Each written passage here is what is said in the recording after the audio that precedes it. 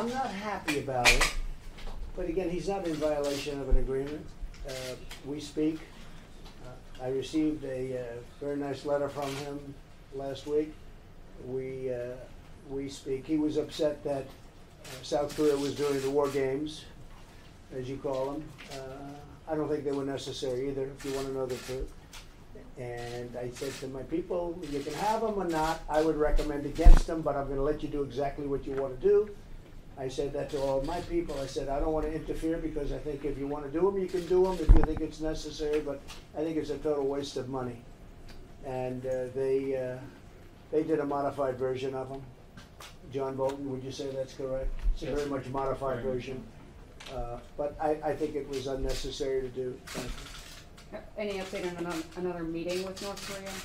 Probably have one, yeah, probably, but, so I'm not, I'm not liking short range, because short range is, uh, Shinzo's, you know, it's really his territory.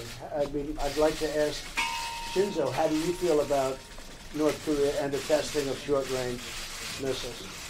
He's not thrilled. 短距離のあの我々えー我々日本はですね、えー短距離弾道ミサイルも国連、えーえーの、えー決議違反であろうと思っておりますし、えーこの短距離えーのミサイルの発射については、 えー、憲法違反です So our position is very clear uh, that the uh, launch of short-range ballistic missiles by North Korea clearly violates the relevant UN Security Council resolutions. Uh, so in that sense, it was extremely regrettable for us to experience another uh, round of the launch of the short-range ballistic missiles by North Korea in recent days. And I Mr. can Prime under- Minister, I can Mr. understand how the Prime Minister of Japan feels. I mean, I can, it's, it's different, but, uh, I mean, I can understand that fully. そうした日本の総理大臣の気持ちをよよく理解理解できます。 えー立場が違い、違うあの地位的に違いです。 Thank you very much.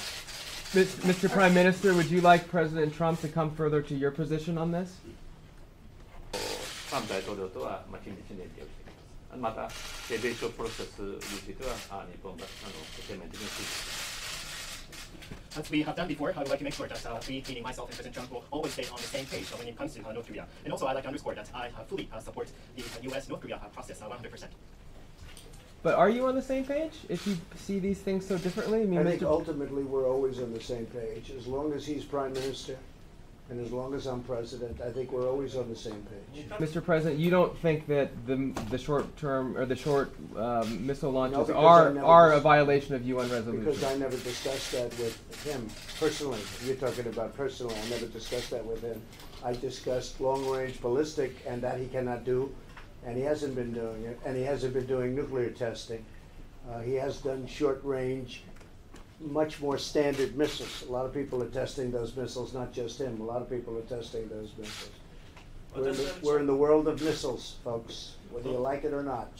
I have confidence that in the end, Kim Jong Un, who I've gotten to know very well, will do the right thing. Uh, and I think in the end, he will do the right thing. We'll see. Maybe not, maybe, but I think he'll do the right thing. See what happens. Thank you all very much. Thank you, President. Right this way. Thank you, guys. I- I